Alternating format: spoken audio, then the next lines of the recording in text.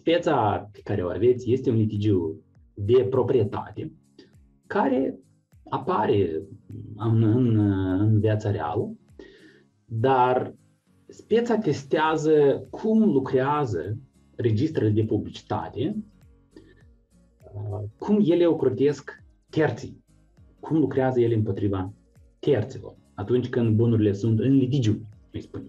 Și eu vă propun să vă gândiți la această piață și să participați la sondajul nostru. Eu acum îl lansez.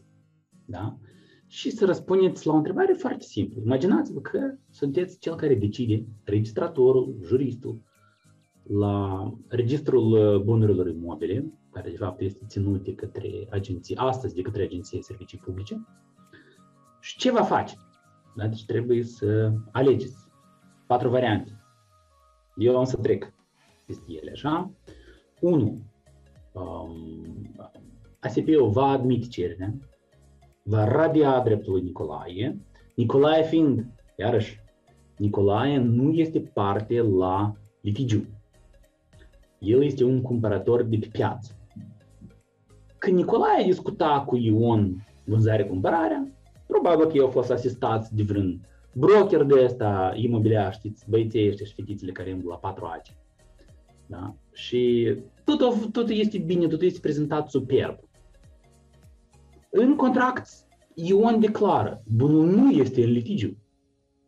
Nicolae plătește bani reali lui Ion. Se mută în imobil.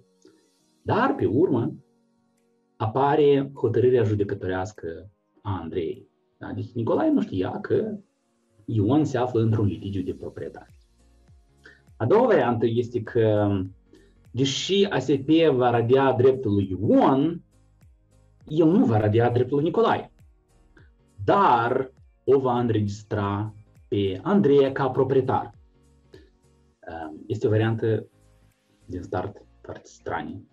Încă varianta asta presupune că este posibil ca două persoane să fie înregistrate în registru ca proprietar exclusiv, ceea ce este un nonsens. Asta ar fi o coproprietate, dar nimeni aici nu cere să fie o coproprietate.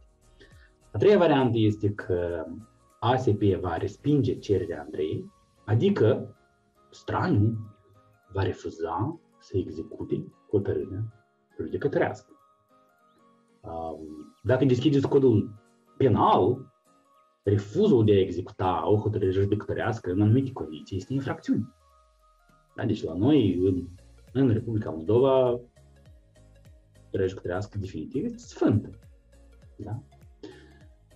Juridic. Și ultima variantă că ASP va admite cererea Andrei, adică radia pe Nicolae, care nu era parte la proces, și va înregistra pe Andrei, care a câștigat instanța, dar cu o condiție importantă. Andreea a notat acțiunea și atunci când Nicolae a cumpărat imobilul, în registru figura jos acolo, la subsol, cu litre mici. Acțiunea în justiție. Da?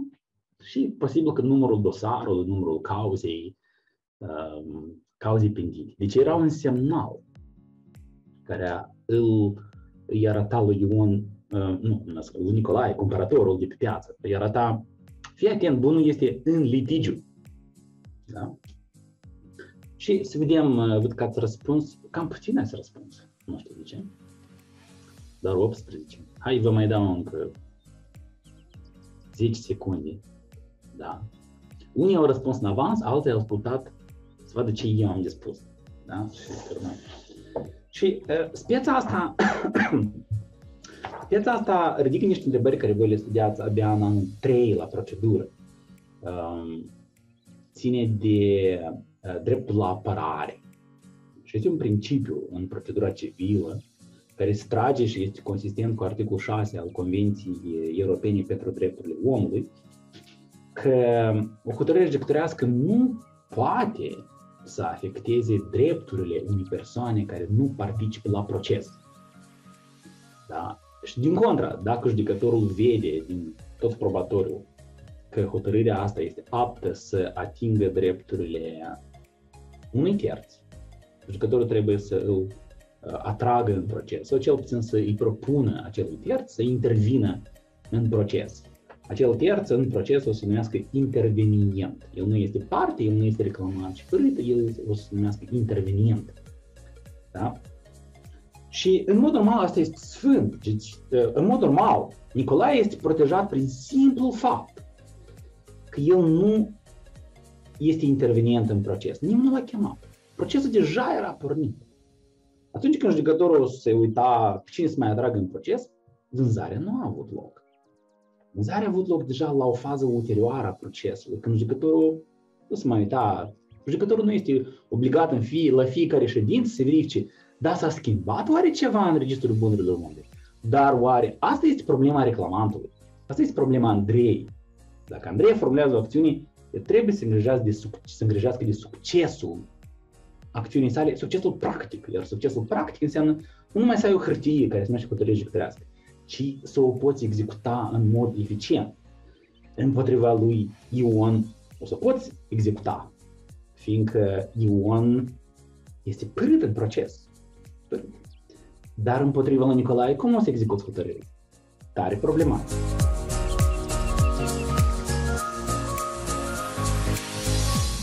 Și mecanismul pe care îl dă codul civil, se numește notarea acțiunii, dar când ne ducem noi la articolul 435, vedem la alineatul 2 o listă întreagă de fapte juridice, fiindcă existența unui litigiu este un fapt juridic în sensul dreptului civil, un fapt, da, în sensul procedurii este o acțiune civilă, este o, da, dar în sensul dreptul nostru material, dreptul civil este un drept material, este o, un fapt juridic, ceva ce se întâmplă între alții. Și punctul 13 spune că se notează orice acțiune care ține de un drept înregistrat sau nu este un litigiu privind bunul imobil, cui aparține bunul imobil, și, vedeți litera D, acțiunea nulitate absolută ori relativă a actului juridic, baza căruia s-a făcut înregistrarea. Și aici avem acest act juridic, dar și ne ducem noi unde, mai sus la punctul 11, acțiunea în rectificare. Și ceea ce Andreea cer, ea are o acțiune complexă, din două capitole cerere. Da? Primul, primărgător, să anulați, anularea este femeie pentru rectificare. Da? Când ne ducem la 439, vedem, rectificarea are loc, unul din cazurile rectificării este s-a constatat, s-a declarat nulitatea contractului. Atunci ea nu cere doar să se înlăture contractul. Pentru asta nu, nu, punctul ei final uh, nu este contractul, este proprietatea. Și atunci el trebuie să meargă în aceste două etape. Unu, contractul anulez. Doi, vreau să nimeresc înapoi în registru. Dar e o problemă. Ai o problemă să execuți o hotărâre judecătorească împotriva lui Nicolae, care nu era parte la proces. Și aici aveți articolul 441 din Codul Civil, care ne spune, anetul întâi, ne repetă norma din... Eu am să închid sondajul repetă norma din, de, de procedură că nu poți, printr-o hotărâre, să afectezi drepturile persoanelor care nu au participat la proces, ceea ce deja este temei pentru ASP să refuze înregistrarea, chiar dacă este o hotărâre judecătorească. Într-adevăr, hotărârile judecătorești sunt obligatorii, dar efectele lor asupra registrului sunt reglementate aici în Codul Civil, articolul 441, aliatul 1 da? Care ne spune că nu poate aduce atingere dreptul persoanelor nie care nu au participat în proces. Da? Deci, ASP se uită, se uită în, um, se uită în, în hotărâri și în hotărâri sunt toți menționați toți participanții. Dacă nu vede acolo pe Nicolae, ASP spune, nu, nu putem să executăm. Dar, vedeți excepția importantă de la levelul 2 și aici vine rolul registrului de a fi un um, un panou informativ pentru terți. Bunul este în litigiu. Bunul este în litigiu. Da? Și aliatul 2 spune, dacă însă acțiunea în rectificare a fost notată în registru, hotărârea judecătorească își va extinde efectul, adică este obligatorie și pentru alte persoane care au dobândit un drept după notare. Deci dacă Andreea depune acțiunea în instanță și deodată fuge la ASP și notează acțiunea, ea este liniștită. Ea știe că viitoarea hotărâre care o să obține ea peste 2 ani o să fie executorie și o să aibă eficacitate uh, pentru a rectifica nu numai față de Ion, părâtul în proces, pe care el știe, ci și oricine în viitor. Oricum, din punct de vedere practic, Nicolae nu avea să cumpere. Dacă el știa și mai ales, el ar, el ar fi putut ști Nicolae, dar ar fi, a, ok, cer un discount și pe mă, mă lămuresc eu cumva, am să pledez că de bună credință și nu știa despre acest litigiu, dar dacă în litigiu este notată o acțiune de rectificare, asta ridică, mai ales pentru notară care o identifică, deja ridică mulți stigulețe roșii, da, red flags. Și mai ales pentru Nicolae, care nu vrea să dea bani și pe urmă să piardă imobil.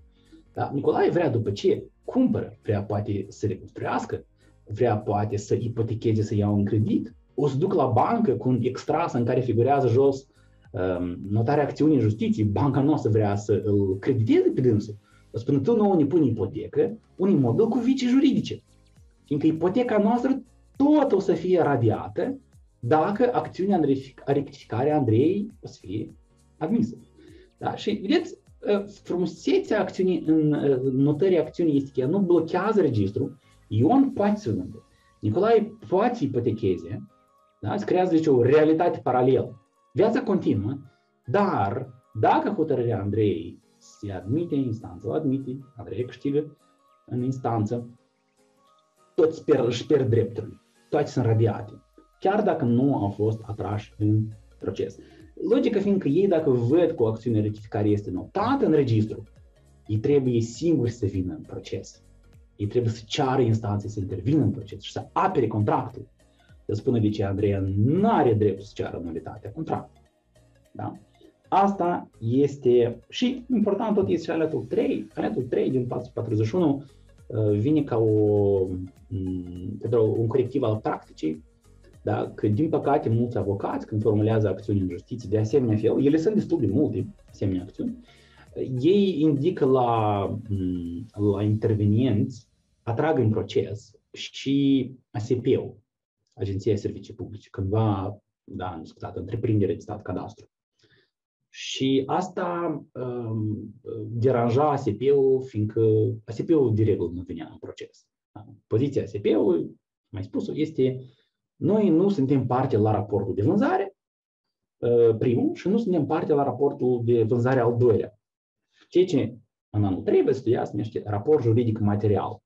Noi, dreptul civil, se aplică, se, se aplică raporturile patrimoniale, dar în fond, ceea ce o să aflați la anul 3, la anul 3 este că ele sunt raporturi juridice de drept material. Um, a doua categorie de raporturi juridice sunt raporturi juridice procesuale. Da? Uh, raporturile dintre participanții la proces. Și regula este că atragi pe cineva într-un proces dacă el cumva este parte sau are legătură cu un raport juridic material.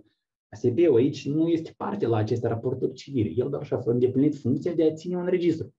Și poziția ASB-ului este când o să veniți la mine cu o hotărâre judecătorească, eu am să o execut. Sigur că am să o execut în condițiile legii.